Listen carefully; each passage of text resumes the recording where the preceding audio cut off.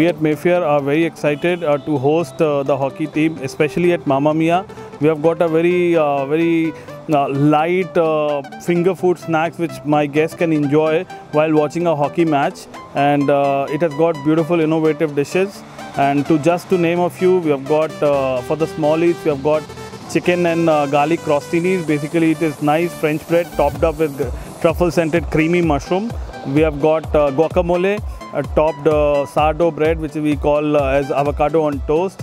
We have got ch- for for heavy eaters, we have got uh, chicken and mushroom pie, basically Irish snack, which has got a tart filled up with creamy chicken and mushroom mixture, topped up with a puff pastry baked in an oven, served with a salad and a French fries. We have got uh, a sausage platter, which has got assortment of three type of chicken sausages. We have got creamy chicken sausage. We have got smoked sausage and a frankfurter served with uh, mashed potatoes and a jus. We are really excited and uh, we are sure that we are going to close the year on a big bang with uh, good Christmas and uh, New Year festivities around.